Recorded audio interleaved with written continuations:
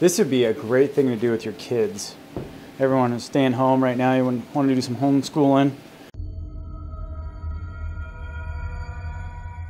I just got out to the barn and check this out.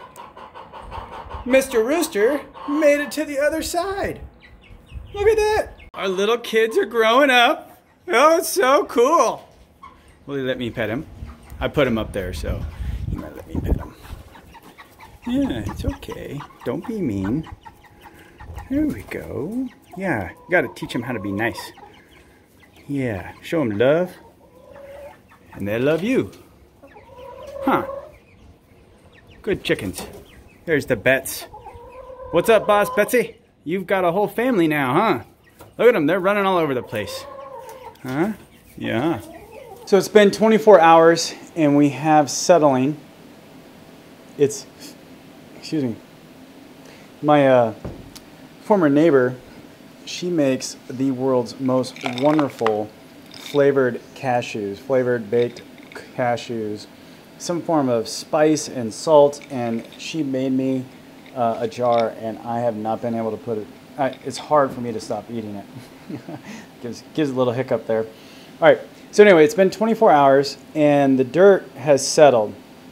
Now, there's no good way for me to show you this, so what I'm going to do is just point, but there's really no gravel or anything in this dirt. It's all, all the heavy stuff settled. And right about here, right there, is what is probably clay. And just based on this, so kind of do a quick measurement here. That is about a half inch and we'll just, just round it to make it easy. So uh, we'll say that the whole thing is about two and a half inches. So a half inch of it is clay and at a two and a half. So what is that?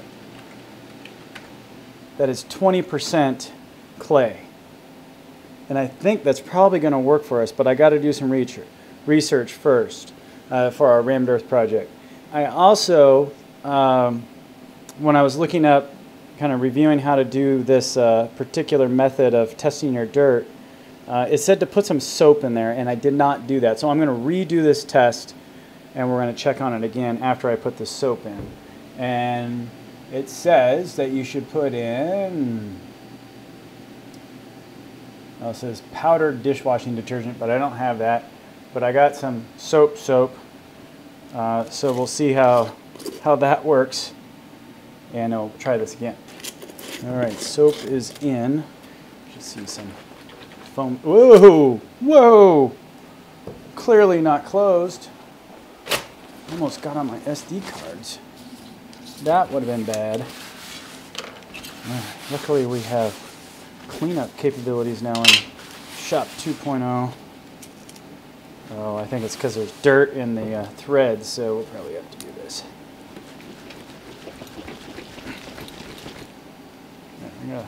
A little bit of fuzzy in there now from the bubbles. A little bit of fuzzy. That's probably just to break the tension, I guess, surface tension. I mean, that's what soap does, changes surface tension with the liquid. That must be.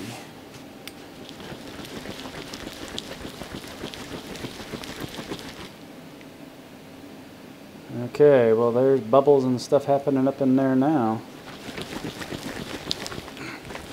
It's shaking real good.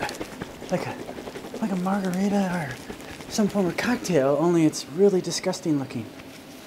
Not something you want to drink. Okay. There we go.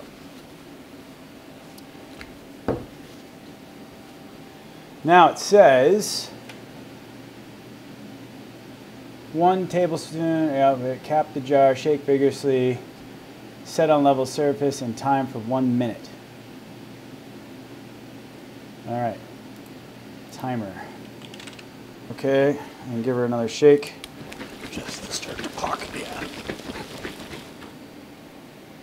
That is some nasty stuff. Okay, ready, begin. So now what it says to do for testing your dirt is you're going to let it go for a minute. And then after a minute, that is the sol you're supposed to put a mark on, and that's the solids, which is coarse sand layer.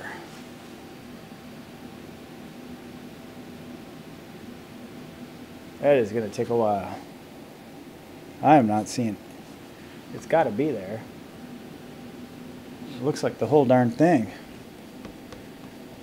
You know what? I'm not happy with that. We're going to stop that. I don't think there's enough water in there. I'm going to do this again. I want to get it right. This would be a great thing to do with your kids. Everyone is staying home right now. You want to do some homeschooling, go out, test your dirt. It'd be a great. I'd like it. It would have been fun. Okay. There go. That's shaking. Ready. Go. Where's this flashlighter? Wow, look at that. Yeah, that makes a huge difference. So it looks like a majority of this is going to be coarse sand. We go for a minute. This is the coarse sand layer that's settling out. Oh my goodness, it is like, it's right here right now.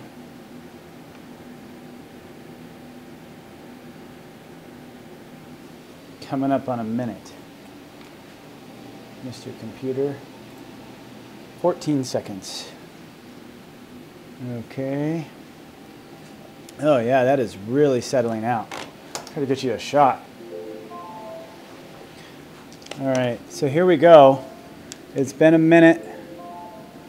Yeah, that is like eight ounces right there. Okay, so now it says two hours. I don't know how long. Leave jar and level spot for two hours. The silt layer is next, so two hours. That'll be five, four, five, six, six o'clock.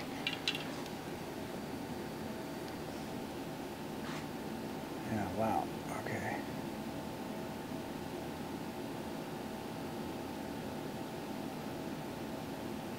Oh, that's working way better than the first one. I'm so glad I redid this. So I'm on rammedearthworks.com and I'm looking at the ratio for rammed earth in order for it to work. And it says the clay sand ratio has the greatest contributing effect on how well an earth wall will perform. Traditionally for raw rammed earth, that ratio has been established at 30% clay and 70% sand. So we shall see how ours does. Uh, when using cement as a stabilizer, clay content can be reduced in some cases, and with high stabilization rates, clay and other fines can be as low as 8 to 10%. So we are going to be measuring the sand layer, coarse sand layer, the silt layer, and then we'll be doing the clay layer, which will settle on top of all of that. And the whole process is going to take us 48 hours to go through, following the instructions exactly as they say, which is just amazing, seeing how this thing is separating. Let me show you, get the light again here and help you out. So this right here is water separating out. The sand is definitely down here.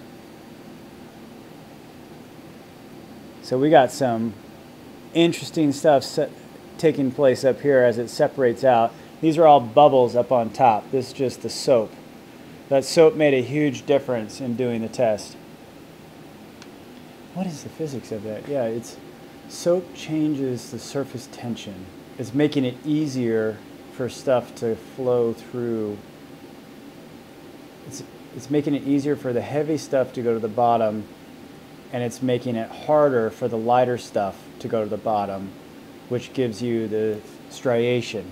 That's what my thinking recollects. Correct me if I'm wrong, but I'm pretty sure that's it. Okay, yeah, so that's cool, man. That is way cool. Very neat. Well, it has been not 48 hours, but it's been almost a week now, and I've actually let it settle out quite a bit. You can see here how clear that is. And what we have, kind of pointing it out, from here to here is a sand layer, from here to right about here is a silt layer, and from there up to the top, which is, geez, that's like a eighth of an inch, maybe a sixteenth of an inch, uh, is clay.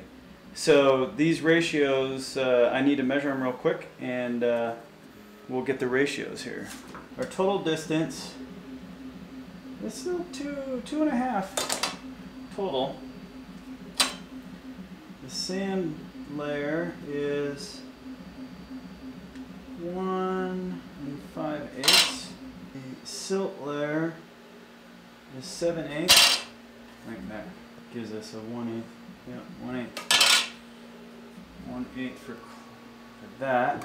So if we do those ratios real fast, 65% sand, 35% silt. Wait, those two things add up. That's not right. Yeah, that ain't right at all. I measured wrong. See, I always measure wrong. I always, always measuring wrong. One and five eighths. Right, something's wrong here. Come on, Jeff. 62% sand, 33% and 5%. 5% clay is what we got. 62%, 33%, 5%.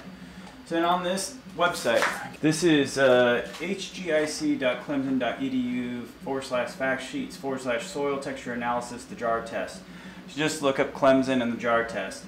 Uh, it's the, the instructions that I followed. But what's really cool is I got this triangle that's on here uh, that you use to figure out um, what type of soil you have based on these three measurements. And it kind of it's a it's a rough way to do it. You could if you really want to know everything, you got to send this all to a lab.